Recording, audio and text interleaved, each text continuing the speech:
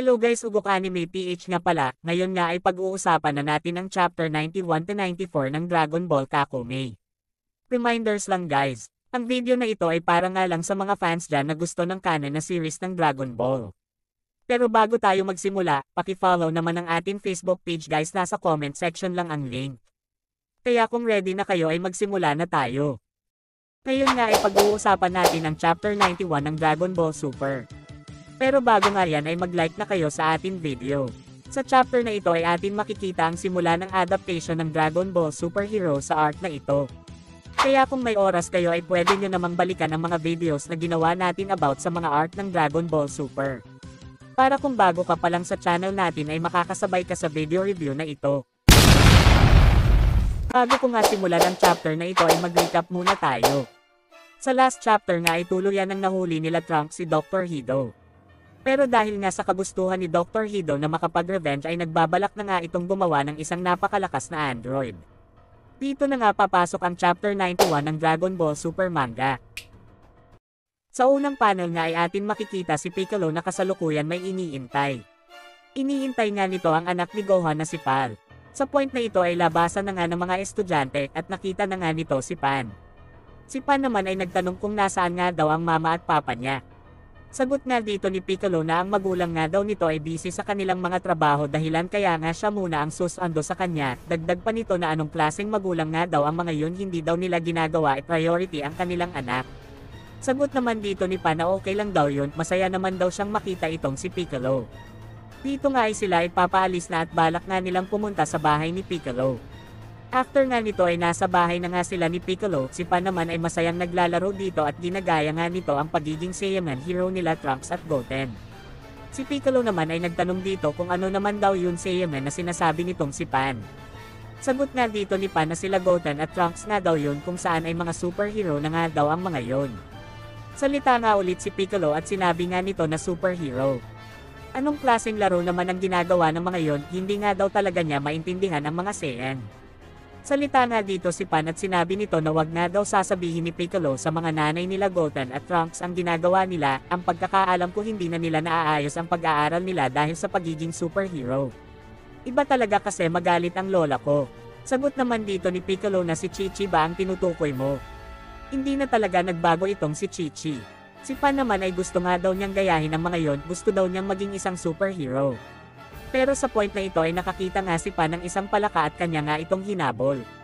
Salita naman dito si Piccolo at sinabi nito na wag nga nitong habulin yan at baka nga daw mahulog ito sa bangin. Ngunit sa point na ito ay nahulog nga itong si Pan sa bangin na talagang kinagulat dito ni Piccolo.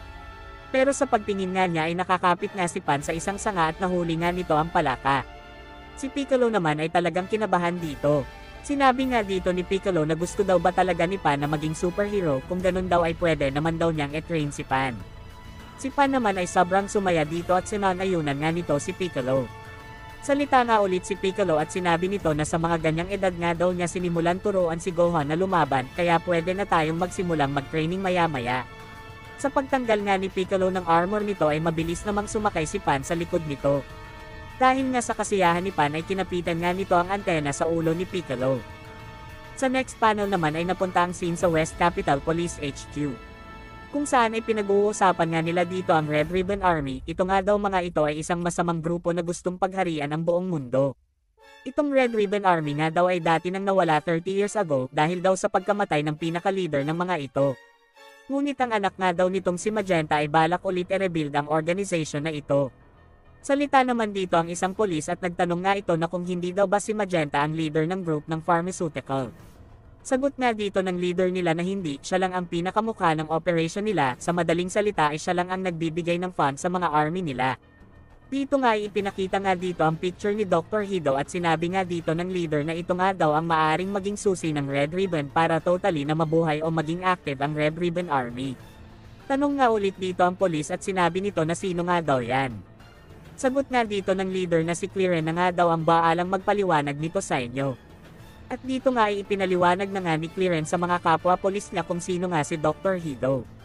Ayon dito kay Clearen si Dr. Hido nga daw ay ang kumakapit sa PhD at MD, at siya nga daw ay apo ni Dr. Jero na isa rin scientist na nagtratrabaho dati sa Red Ribbon Army. Ang tatay nga daw ni Dr. Hido ay ang pangalawang anak ni Dr. Jero pero ang mga magulang nga daw ni Dr. Hido ay maagang namatay sa isang accident. Then si Dr. Hido nga daw ay tumira sa mga kamag-anakan nito at naging isang prodigy at kumikita na nga daw ito sa PhD ng pera sa edad na 14 years old.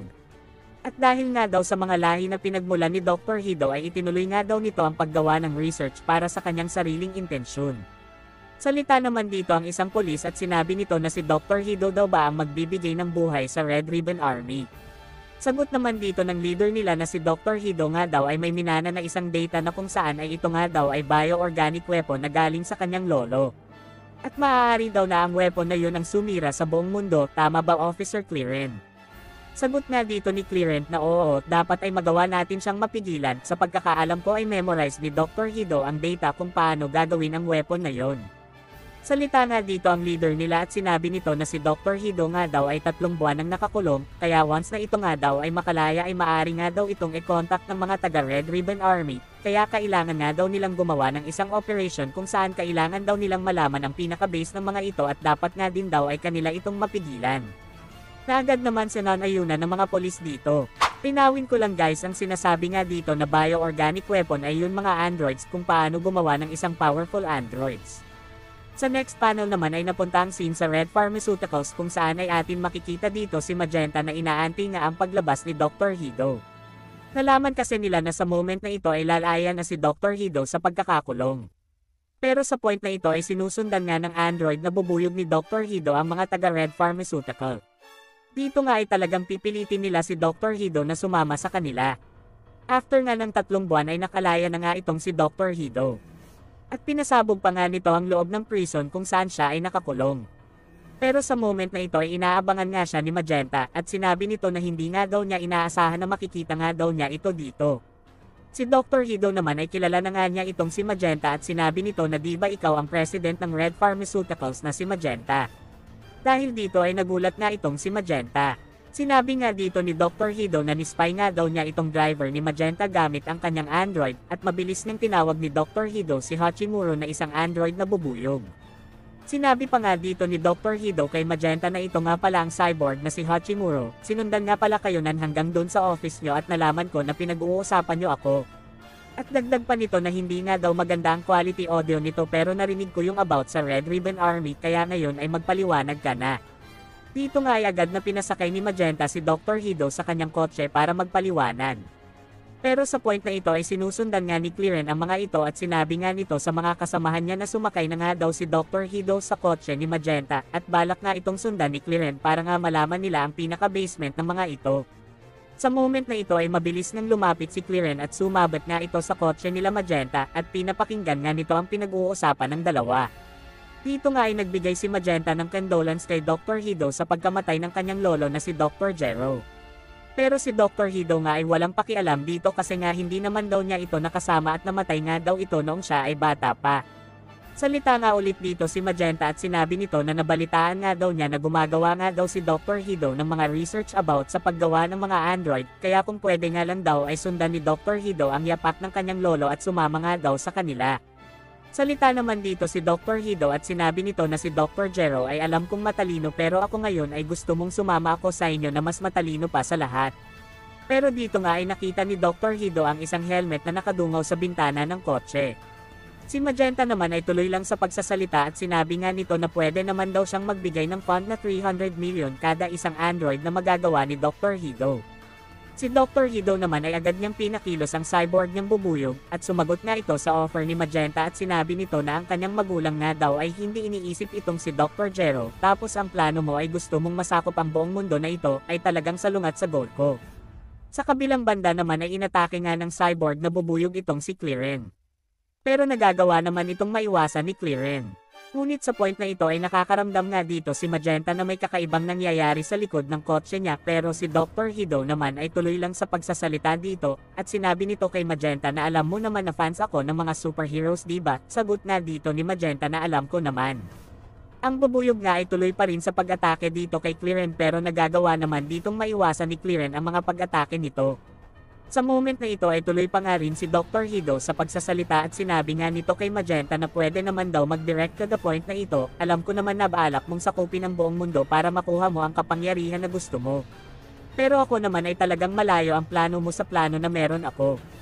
Salita nga ulit dito si Magenta at sinabi nito na ayaw mo pa din e kung gawin kong isang billion kada Android na magagawa mo. Si Dr. Hido nga dito ay nagsalita at sinabi nito na ang offer nga daw ni Magenta ay hindi na niya tatanggihan. At agad naman ditong nagpakita ng baril ang driver ni Magenta at sinabi nito na bingo nga daw. Salita nga dito si Dr. Hido at sinabi nito na sige linawin natin, hindi niyo ako magagawang matakot o masindak dahil may baril kayo, ang katawan ko ay nilagyan ko ng isang injection na kung saan ay hindi na ako nitatalaban ng kahit anong baril, at ang android kong cyborg na si Hachimuro ay talagang nakakalason. Dahil nga sa narinig ni Clearen ay mabilis nga niyang iniwasan ang mga pag-atake ng cyborg ni Dr. Hido at kanya nga itong binaril, dahilan kaya nga ito ay tumalsik ng malayo. Dahil nga sa lakas ng pagputok ng baril ay talagang nagulat dito ang driver ni Magenta. Sa moment na ito ay tuloy pa rin sa pagsasalita si Dr. Hido at sinabi nito na kaya nga daw siya ay makikikooperate dito kay Magenta kasi nga maganda ang offer nito at wala nga daw siyang pakialam sa mga plano nito, basta ang gagawin nga lang daw niya ay ang paggawa ng malalakas na androids para matupad ang mga ambisyon nito. Dito naman ay nagawang maayos ng driver ni Magenta ang balance ng kotse at sinabi nga dito ni Magenta na ayusin nga daw nito ang pagmamaneho na agad namang sinon-ayunan ng driver. Dito nga ay tinanong ni Dr. Hido si Magenta kung sino nga daw ang mga tao na humahadlang sa mga plano niya. Salita naman dito si Magenta at sinabi nito na ang tinutukoy mo ba yon taong tumalo kay Cells. Sagot nga dito ni Dr. Hido na sino. Salita naman dito si Magenta at sinabi nito na ayon nga daw sa investigation ng mga tao niya, ang tinuturo nga nila ay ang mga kasamahan ni Bulma sa Capsule Corporation ang dahilan. Dito nga ay nagulat si Dr. Hido at sinabi nito na anak nga daw ni Bulma ang dahilan kung bakit siya nakulong. Dagdag pa nito na extraterrestrial nga daw ang mga yon, tingin nga daw niya na parang alien ang mga yon. At ang mga yon ay parang may balak sa kupin ang buong mundo. At ang mga kasamahan ni Bulma ay nagpapanggap na mga superhero pero ang totoo ay masasama sila. Si Clearen naman ay nakikinig pa rin sa usapan ng dalawa at agad nga nitong tinawagan ang mga kasama niya at sinabi nito na positive nga daw ang hinala nila sa gagawin ng Red Ribbon Army. Si Magenta naman ay nagsalita dito at sinabi nito na nakaya mo bang gumawa ng android na tatalo sa kanila. Sagot nga dito ni Dr. Hido na anong klaseng tanong daw yan. At agad nga nitong inutusan ulit ang cyborg niya para atakihin nga si Clearen. At dito nga ay rektang tinamaan si Clearen ng cyborg at tumalsik na nga dito ito ng malayo. Si Dr. Hido ay nagsalita dito at sinabi nito na gagawa nga daw siya ng sobrang lakas na android at tuluyan nang ang nakalayo ang mga ito sa lokasyon ni Clearen. Sa next panel naman ay lumipas na ang 6 months at si Pan nga ay tuloy pa din sa pag-training kasama si Piccolo. Malaki na nga ang naging resulta ng training dito ni Pan. Pero kulang pa nga din para makasabay sa lakas na meron si Piccolo.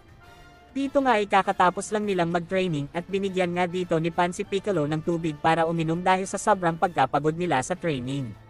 Sinabi nga dito ni Piccolo na mas magaling nga daw si Pan kesa kay Gohan.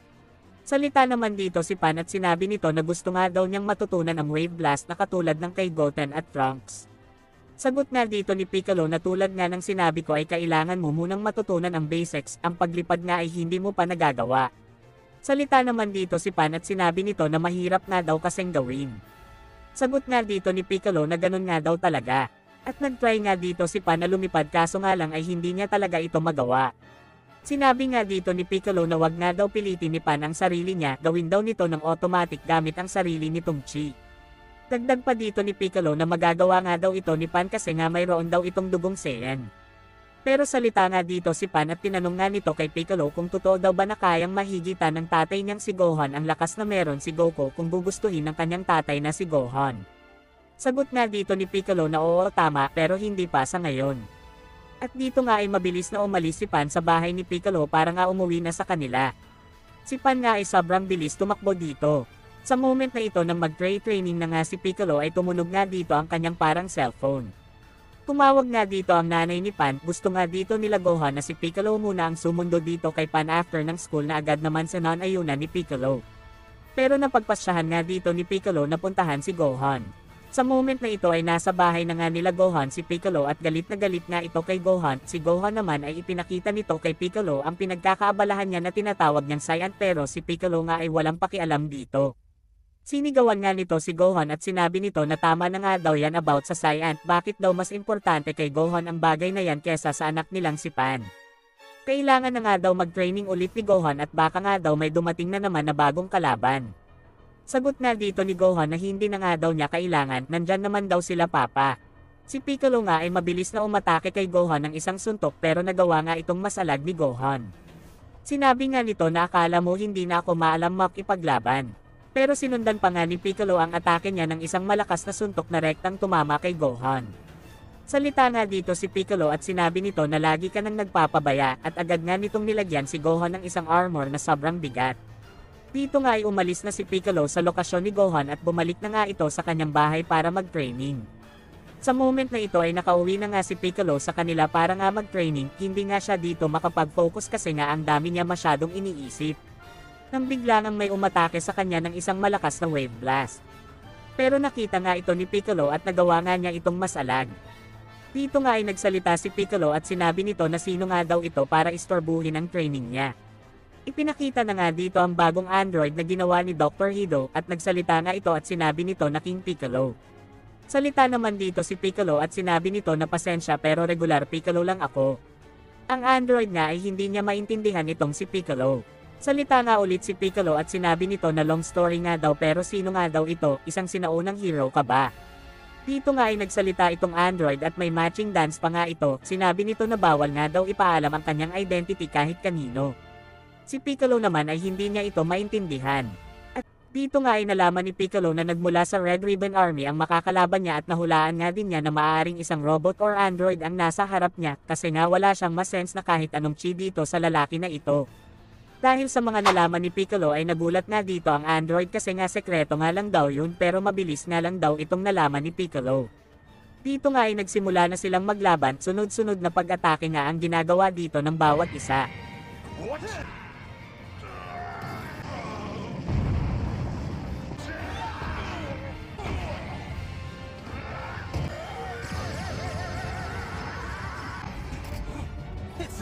Pero sa point na ito ay nagpalabas na ang Android ng isang napakalakas na parang wave blast at rekta nga itong tumama kay Piccolo, nagresulta nga ito ng malakas na pagsabog. Sa moment na ito ay sinabi nga ng Android na nagawa na nga daw niyang mapatay itong si Piccolo kasi nga daw wala ng signal siyang na-detect dito kay Piccolo. At mabilis na nga siyang umalis para bumalik sa kanilang headquarters. Pero ito pa lang si Piccolo ay nasa likod lang ng Android at hindi nga alam ng Android na naisahan siya ni Piccolo. Habang ang android nga ay papunta sa kanilang headquarters ay sinundan nga ito ni Piccolo. Ang android nga ay walang kamalay-malay na sinusundan na siya dito ni Piccolo at nakarating na nga siya sa kanilang headquarters. Si Piccolo nga ay nagtataka dito kasi nga hindi siya familiar sa ganitong klase ng lugar. Ang android nga dito ay naglalakad na papasok sa loob at binati nga siya dito ng mga tao dahilan kaya nga nalaman ni Piccolo ang pangalan ng android. Ito nga ay walang iba kundi si Gamma 2. Dito nga ay mabilis na nagpalit si Piccolo ng damit sa pamamagitan ng pagkuha ng damit ng isang gwardya dito at matagumpay nga niyang nasundan dito si Gamma 2. Pero sa moment na ito ay nagulat nga siya sa mga nakita niya kasi nga may ganitong klaseng lugar pala na ngayon nga lang niya nakita. Dito nga ay tuloy pa din si Piccolo sa pagsunod dito kay Gamma 2 hanggang sa pinaka-base nila. Pero naka-encounter nga siya dito ng kaunting problema katulad na nga lang sa pagpapanggap niya bilang isang baguhan na gwardya. Pero kahit nga ganun ay matagumpay pa nga din siyang nakapasok sa pinakaloob ng headquarters ng Red Ribbon Army. At nakita nga niya dito si Dr. Hido, Magenta at ang dalawang android na Gamma 1 at Gamma 2. Dahil dito ay gulat na gulat nga siya sa mga nakita niya kasi nga meron pa palang isang android. Ang pinag-uusapan nga dito nila Dr. Hido ay ang pagtesting nga daw ng kapangyarihan na meron si Gamma 2 kung ito nga daw ay maayos. Sagot naman dito ng android na nagawa na nga daw niyang matalo itong si Piccolo. Pero ito naman si Gamma 1 ay hindi nga sigurado kasi nga baka nga daw nakatakas itong si Piccolo or nasundan ito ni Piccolo. Sagot dito ni Gamma 2 na hindi nga daw. Pero si Gamma 1 nga ay ipinakita ang loaded videos after ng pagsabog ni Piccolo, may nakita nga sila ditong isang glitch kung saan ay ito nga daw si Piccolo. Mabilis nga daw nakatakas si Piccolo, si Gamma 2 naman ay inis na inis din dito. Ngunit sa point na ito ay nagsimula na ngang i-discuss ng driver ni Magenta ang mga makakalaban nila. Ipinakita nga dito si Goku, Vegeta, Majinbo at Piccolo kung saan ay gumagawa na nga dito ng plano ang mga taga Red Ribbon Army. Si Dr. Hido nga dito ay naniniwala na kaya ng matalo nila Gamma 1 at Gamma 2 ang mga kasamahan ni Bulma. Pero itong si Magenta naman ay tinanong kay Dr. Hido kung malapit na daw bang matapos gawain si Cellmax. Pero sagot na dito ni Dr. Hido na hindi na nga daw nila kailangan pa si Cellmax kasi nandyan naman daw sila Gamma 1 at Gamma 2. Dahil nga dito ay gulat na gulat nga si Piccolo nang makita nga nito si Cellmax. Salita nga ulit dito si Magenta at sinabi nito kay Dr. Hido na sagutin nga daw ni Dr. Hido ang tanong niya kailan nga daw matatapos gawain itong si Cellmax. Sagot nga dito ni Dr. Hido na kailangan na nga lang na ng sapat na oras, masyado daw kasing malaki ang katawan nito dahilan kaya nga medyo matagal ang paggawa sa kanya, pati na nga din daw ang pag-program dito ay kailangan talaga ng mahabang oras, dagdag pa dito ni Dr. Hido na patience nga lang daw at malapit na daw makuha ni Magenta ang kapangyarihan na gusto nito. Salita naman dito si Magenta at sinabi nito na wala daw bang balak si Dr. Hido na gamitin itong si Cellmax at ang mga gamma androids ang mas gusto mong ayusin. Sagot naman dito si Dr. Hido at sinabi nito na hindi nga daw magandang plano ang gayahin ng blueprint ni Dr. Jero kasi ang cell android na yan ay meron ka talagang special cell na kailangan ng mahabang panahon para maayos sa naturally ay kailangan natin ng oras. Kaya kesa magreklamo ay mas mabuting pagandahin natin ang Android series na Gamma.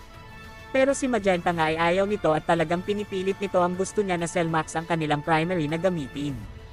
Salita nga ulit si Dr. Hido at sinabi nito na ang pagmamadali nga daw ay maaaring mapunta sa pagkakamali. Dagdag pa nito na ang monster daw na yan ay talagang isang totoong monster, once na mawalan tayo ng control sa kanya ay maaaring sirain nito ang buong mundo na balak mong pagharian. Kaya sa ngayon ay hayaan muna natin itong Cellmax at iasa na muna natin sa mga Gamma Android ang pagtalo sa mga kasamahan ni Bulma. Sagot dito ni Magenta na gusto mo na pagkatiwalaan kita. Sagot nga dito ni Dr. Hido na parang ganun na nga. Sa kabilang banda naman ay mabilis na umalis si Piccolo sa headquarters nila Dr. Hido at agad nga nitong tinawagan si Bulma para ipaalam ang about dito sa Red Ribbon Army. Sinabi nga nito kay Bulma na kailangan nga daw nilang makontak sila Goku para sabihan ito na meron na naman problema na maaring mangyari dito sa Earth. Napagpasyahan nga dito ni Bulma na hanapin ang device nito para makontak sila Whis. Si Piccolo naman ay mabilis na umalis sa Red Ribbon Army para pumunta Kandakoren para humingi ng Senzu Beans.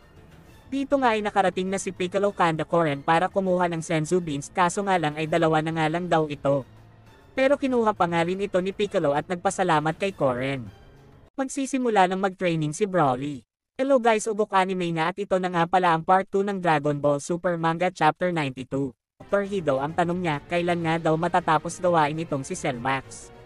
Sagot nga dito ni Dr. Hido na kailangan na nga lang na ng sapat na oras, masyado daw kasing malaki ang katawan nito dahilan kaya nga medyo matagal ang paggawa sa kanya, pati na nga din daw ang pag-program dito ay kailangan talaga ng mahabang oras, dagdag pa dito ni Dr. Hido na patience nga lang daw at malapit na daw makuha ni Magenta ang kapangyarihan na gusto nito.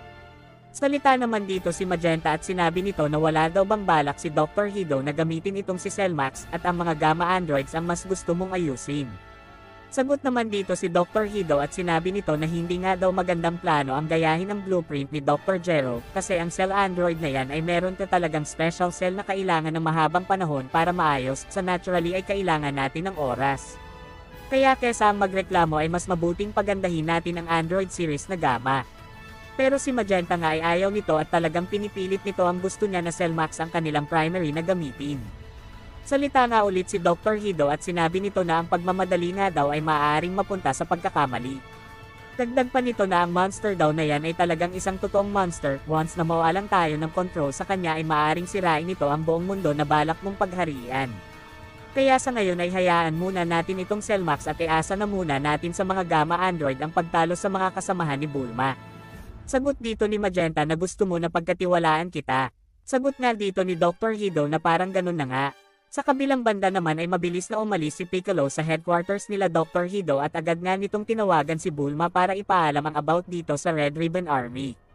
Sinabi nga nito kay Bulma na kailangan nga daw nilang makontak sila Goku para sabihan ito na meron na naman problema na maaring mangyari dito sa Earth.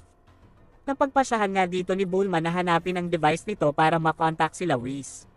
Si Piccolo naman ay mabilis na umalis sa Red Ribbon Army para pumunta Kandakoren para humingi ng Senzu Beans. Dito nga ay nakarating na si Piccolo Kandakoren para kumuha ng Senzu Beans kaso nga lang ay dalawa na nga lang daw ito. Pero kinuha pa nga rin ito ni Piccolo at nagpasalamat kay Koren. Sa moment na ito ay tumawag na nga dito si Bulma at sinabi nga nito kay Piccolo na hindi pa nga din daw niya makontak sila Goku at Vegeta dahil nga daw nawawala yung device niya. Salita naman dito si Piccolo at sinabi nito na nagbibiro ka ba? Pero salamat pa din Bulma. Dito nga ay sinabi ni Piccolo na masama nga daw ito, base nga daw sa kanya, ang android na yun ay masasabi niya na malapit nga daw ang lakas ng mga yon sa lakas na meron si Goku at Vegeta.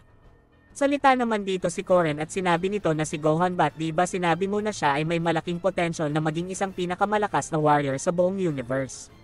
Sagot nga dito ni Piccolo na hindi nga daw niya masasabi sa ngayon, dagdag pa dito ni Piccolo na maaring kilala ng mga kalaban sila Android 17 at 18 kasi galing sila sa data ni Dr. Jero. Dito nga ay nagpapanik na si Yahirobi at sinabi nito na masama nga daw talaga ito. Tapos si Mijinbo nga daw ay hanggang ngayon ay tulog pa rin. Pero sa point na ito ay biglang ang naalala ni Piccolo si Dende at sinabi nito na maaaring si Dende nga ang makapagbigay sa kanya ng bagay na hinahanap niya. Kaya nga napagpasyahan dito ni Piccolo na pumunta sa lokasyon kung nasaan si Dende. Sa next panel naman ay balik ang scene dito kay Bulma kung saan ay kasalukuyan nga nitong hinahanap ang device para makontak sila Whis. Sa paglingon nga niya ay nakita nga nito ang alaga nilang dinosaur na nilalaro ang device. Sa kabilang banda naman ay napunta ang scene sa planetang Biros kung saan ay kasalukuyan naglalaban sila Broly at Goku, ngunit ang baston nga nitong si Whis ay nahagip ng malakas na hanging dahilan kaya nga ito ay tumalsik ng malayo. Dito nga ay ipinakita ang training ni Broly at Goku kung saan ay naglalaban nga ang dalawa. Dito nga ay umatake si Broly ng isang malakas na wave blast na agad namang naiwasan ni Goku pero sinundan pa nga ni Broly ang atake niya ng isang malakas na pagsuntok na rektang tatama kay Goku. Ngunit nagawa nga itong maiwasan ni Goku at sobrang daming pag-atake nga ang ginagawa dito ni Broly na nagagawa namang maiwasan ni Goku. Dahil nga sa lakas ng mga atake ni Broly ay tumalsik nga dito si Goku at habang nasa ere pa si Goku ay sinundan pa nga ito ni Broly para nga atakehin pa ito. Pero mabilis naman ditong nakapag-react si Goku at sinalubong nga niya ito ng isang malakas na sipa na nagawa namang masalag ni Broly. Ang dalawa nga ay agad na dumistansya sa isa't isa. Salita nga dito si Goku at sinabi nito kay Broly na magaling, nagagawa mo ng makasabay at masanay sa laban na ito. Sagot nga dito si Broly at sinabi nito na siya nga daw ay nalilito pa rin. Salita naman dito si Goku at sinabi nito na nagagawa mo na kahit papaano, baka mga ilang araw ay magawa mo ng makipaglaban ng maayos at malakas kahit hindi ka pa nagagalit. Dito nga ay agad na naghanda si Broly at sinabi nga nito na handa na ako Son Goku. Unang panel nga ay ipinakilala na nga dito si Broly, sinabi nga dito na si Broly nga daw ay isang nga din survivor ng mga Saiyan na meron sobrang lakas na amount ng kapangyarihan. Nang bata pa nga lang daw si Broly ay meron nga daw itong kakaibang lakas na kinaiingitin dito ni King Vegeta. Ito nga ang naging dahilan kung bakit siya ay pinaalis sa planetang Vegeta at tinapon sa planetang Planetoid. After nga ng 41 years ago sila nga ay namuhay sa planetang Planetoid kasama ang kanyang tatay na si Ikki. Pero sa kasamaan palad ay natagpuan nga nila Lemo at Chele sila Broly. Ang dalawa nga dito ay kasalukuyan tauhan ni Frieza na tinatawag na Frieza's Army dahil dito ay sinama nga ang dalawang Saiyan na ito na sila Broly at Ik sa pagpunta sa planetang Earth. Ang planetang Earth nga ay kasalukuyan mapayapa at kakatapos nga lang din ng Tournament of Power that time. Dito na nga nagsimula ang laban sa pagitan ni Broly laban kay Vegeta at Goku. Si Broly nga ay nag-struggle sa laban niya kande Goku at Vegeta. Tinabi nga dito ng tatay ni Broly kay Fraser na masama nga daw ito, kailangan nga daw magalit si Broly para mailabas nito ang totoong lakas na meron siya. Nakasamaan palad ay pinatay nga ni Frieza ang tatay ni Broly para nga malaman niya kung totoo nga ba ang sinasabi ng tatay ni Broly. Tinabi pa nga dito ni Frieza na tinamaan nga daw ang tatay nito ng ligaw na wave blast na nagmula kande Goku. Dahil nga dito ay sobrang lakas na kapangyarihan ang pinalabas dito ni Broly. Tila Goku at Vegeta nga ay nasa bingit na ng kamatayan ng mga oras na ito dahil sa lakas na meron si Broly.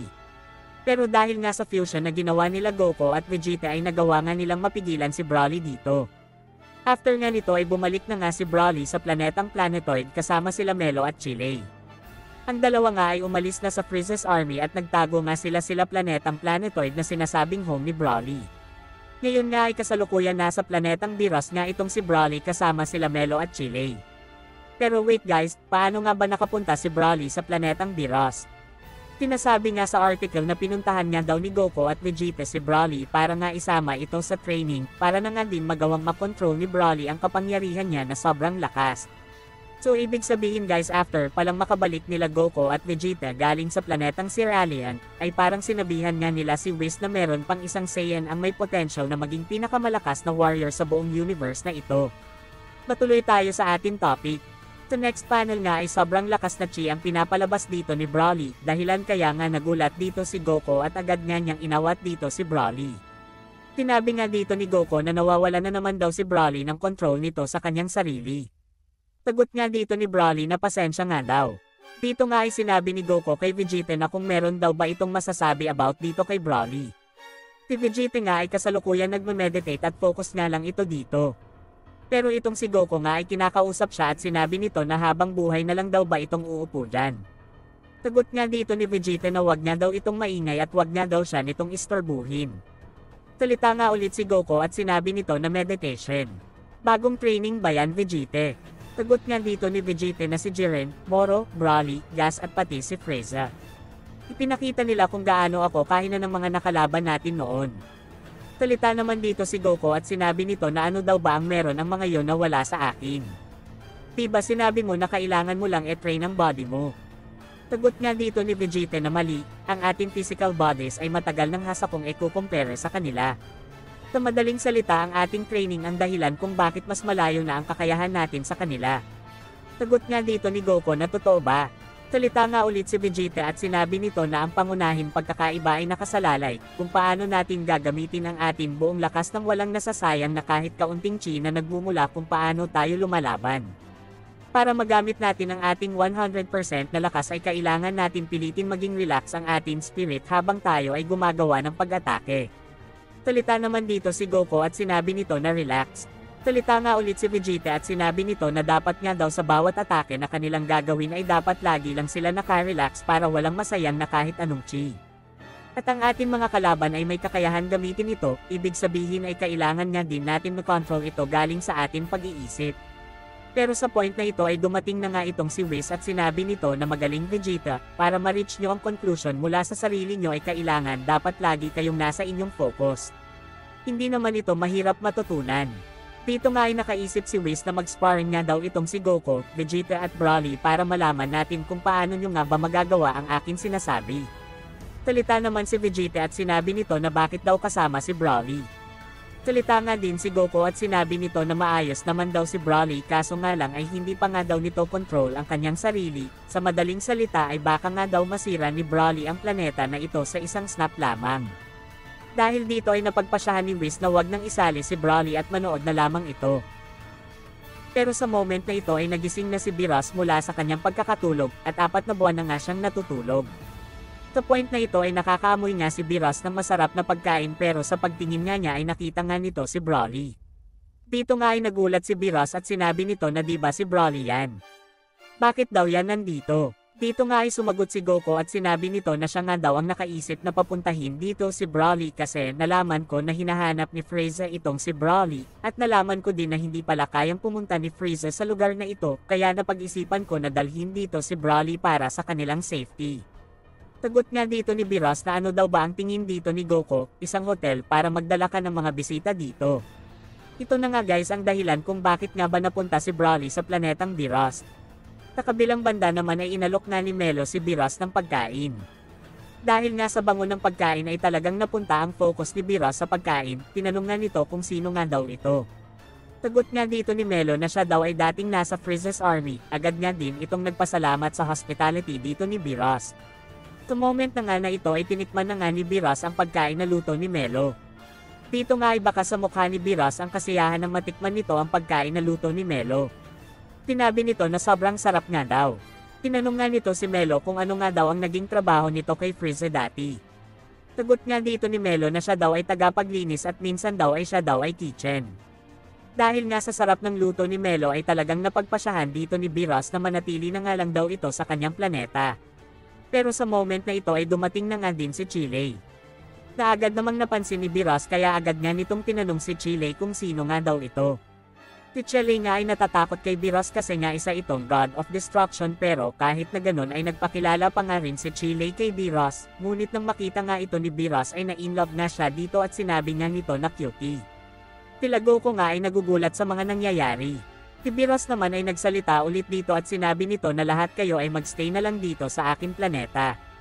Dito nga ay pinaliwanag na ni Whis ang mga role sa gagawin sparring nila Vegeta at Goku.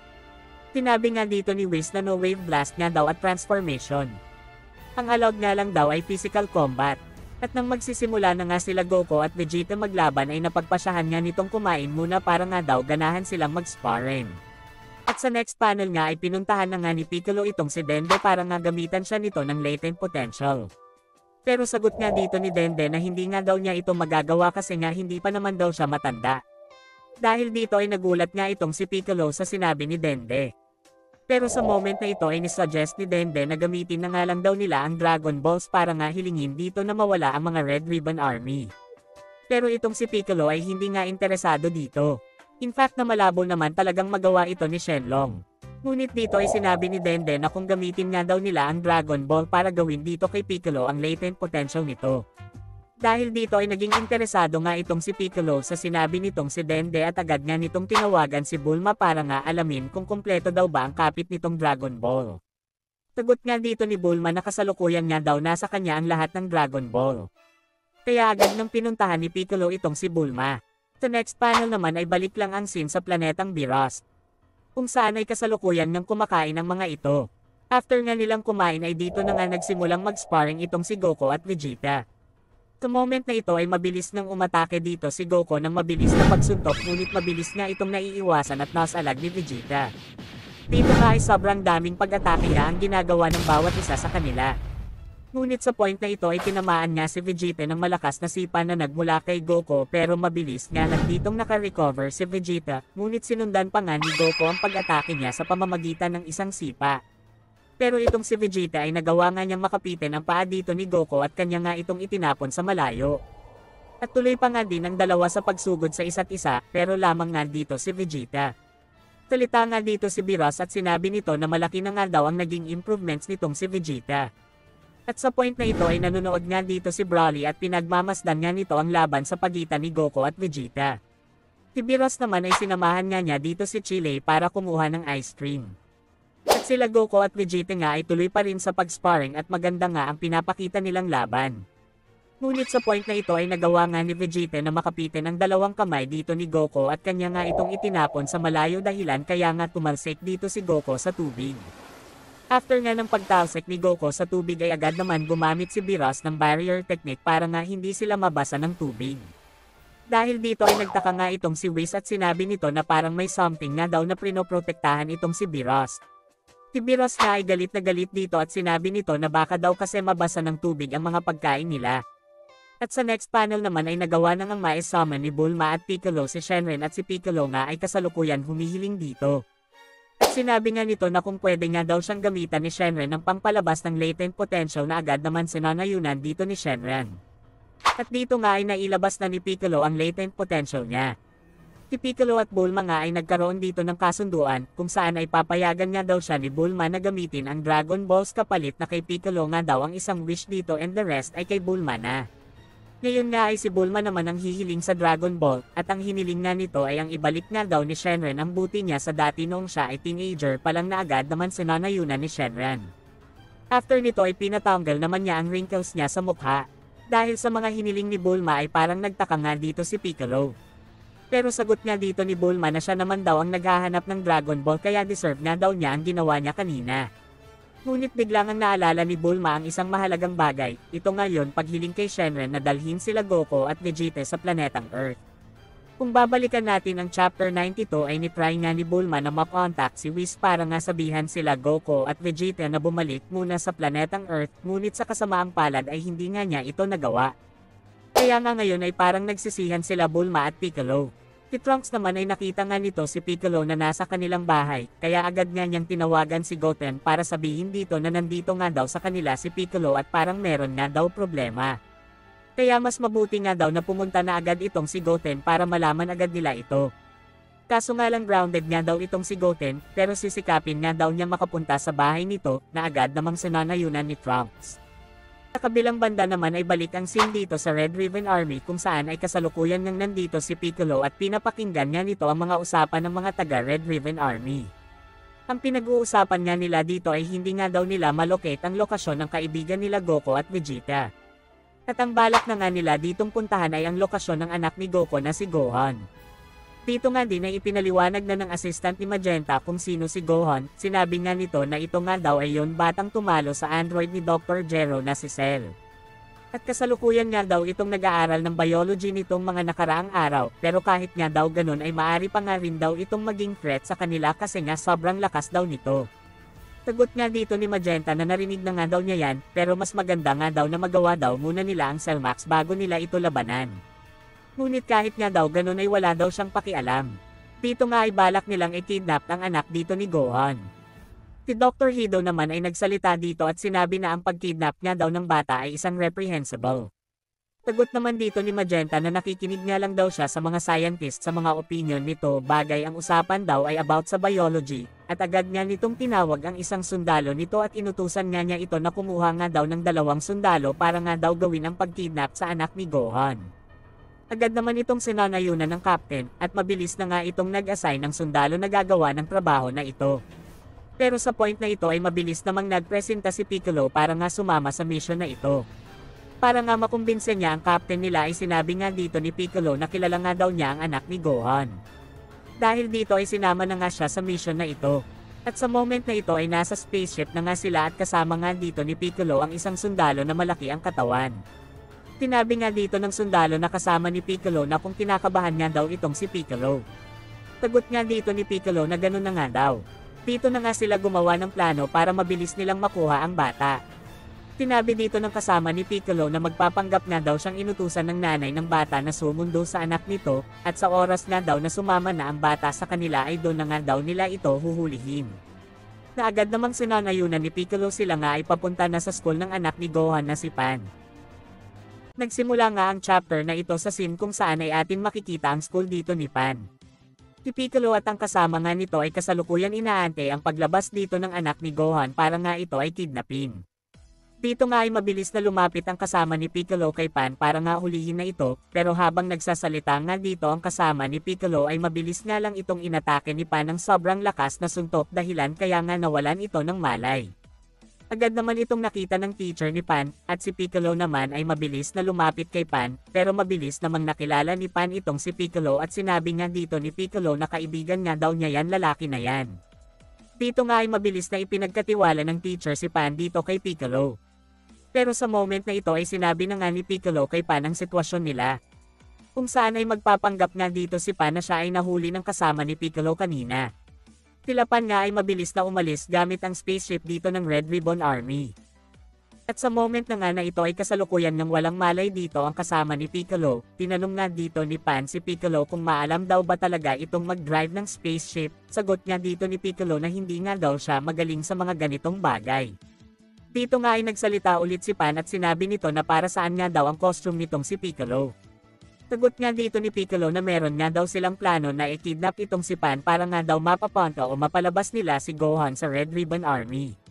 Salita nga ulit si Piccolo at sinabihan nito si Pan na wag nga daw magtiwala itong si Pan sa kasama niya kasi nga masamang tao nga daw yan, kaya mas mabuti nga daw na magpanggap muna itong si Pan na sobrang natatakot.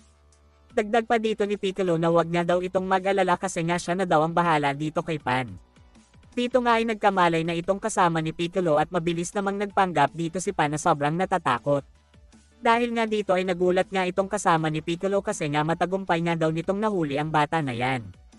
Sa next panel naman ay nakabalik na nga sila Piccolo sa headquarters ng Red Ribbon Army, kasama nga itong si Pan na nagpapanggap na natatakot.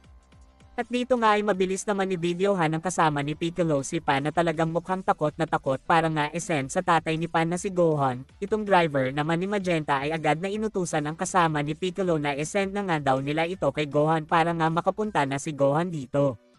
Ang captain nga ng army dito ay mabilis na ina-assign si Piccolo sa mission na ito kasama nga ang kasama niya dati sa pagkidnap dito kay Pan. Na agad naman sinanayunan dito ni Piccolo. Tila Piccolo nga ay mabilis na pumunta sa bahay ni Gohan. Dito nga ay mabilis na kumatok sa bahay ni Gohan ang kasama ni Piccolo para nga komprontahin na ito. Si Gohan naman dito ay kasalukuyan na nag-aaral at ito nga ay nagulat sa pagpunta ng mga Red Ribbon Army sa labas ng bahay niya. Salita nga dito si Gohan at sinabi nito na ano nga daw ang meron. Talita naman dito ang kasama ni Piccolo at sinabi nito na ikaw ba si Gohan. Tagot nga dito ni Gohan na oo siya nga daw yon. Nagtaka naman dito ang kasama ni Piccolo kung bakit nga daw ganyan ang suot nitong si Gohan. Tagot nga dito ni Gohan na long story nga daw. Si Piccolo naman ay nagtataka dito kay Gohan kasi nga hindi daw siya na-recognize nitong si Gohan, ano nga daw ang mali dito. Ngunit sa point na ito ay mabilis nang tinutukan ng baril ng kasama ni Piccolo itong si Gohan ngunit mabilis nga lang pinitik ni Gohan ang baril ng army. Dahilan kaya nga nagulat dito ang kasama ni Piccolo na army. Si Gohan naman ay naiinis na dito, bagay nga daw hindi pa umalis ang mga ito ay tatawag na nga daw siya ng polis. Ngunit sa kasamaang palad ay mabilis nang ipinakita ng kasama ni Piccolo ang video ni Pa na sobrang natatakot nga. Dahil dito ay sobrang nagalit nga itong si Gohan. Mabilis nga itong lumabas ng kanilang bahay at nagpalabas ng sobrang lakas na chi. Ito namang kasama ni Piccolo ay sobrang natakot nga sa ipinakita ni Gohan. Si Gohan nga ay sobrang galit na galit na nga sa point na ito at sinabi nga nito na wag nga daw nitong sasaktan ang anak niya. Tagot nga dito ng kasama ni Piccolo na wala nga daw siyang ginagawang masama sa anak nito kaya kung pwede daw ay sumama na ito para makita na nga nito ang anak niya. Tagot nga dito ni Gohan na ituro mo sa akin ang daan papunta sa anak ko. Na agad namang sinanayunan dito ng kasama ni Piccolo. Sila nga ay papunta na sa headquarter ng Red Ribbon Army. Sa next panel naman ay ipinakita nga dito ang mga taga Red Ribbon Army kung saan ay nandito nga ang lahat, katulad nila Gamma 1 at Gamma 2, Magenta at Dr. Hido. Ang mga ito nga ay nag-aantay sa pagdating ni Gohan. Tinabi nga dito ng driver ni Magenta na maya-maya nga lang daw ay nandito na itong si Gohan. Pero sa moment na ito ay mabilis nang dumating dito si Gohan na nagmula sa itaas. At bakas nga sa mukha nito ang sobrang pagkagalit. Si Pan naman ay sobrang saya nga dito kasi nga nandito na daw ang tatay niyang si Gohan. Pero nang papalapit na nga si Gohan dito kay Pan ay mabilis naman siyang pinigilan at inatake dito ni Gamma 1 dahilan kaya nga ito ay tumalsik ng sobrang layo. Sa moment na nga na ito ay mabilis nang nakarecover si Gohan dito at hinubad nga nito ang kanyang cloak.